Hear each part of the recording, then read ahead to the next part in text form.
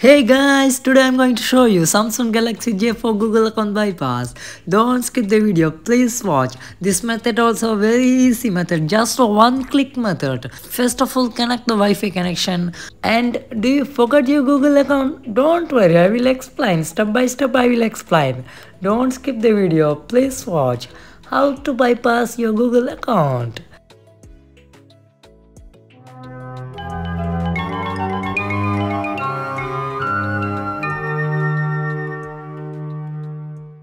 Connect the micro USB port for your PC and click the emergency mode star hash 0 star hash. Testing mode is coming. Perfect.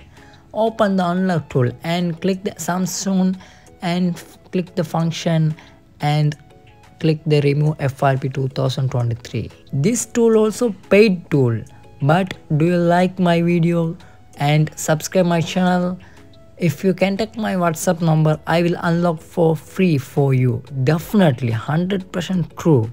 I will unlock for free for you. And click the allow usb debugging and your phone is now unlocking. Oh my goodness. Oh my goodness. Your phone is just one minute to unlock your phone. Let's do it man.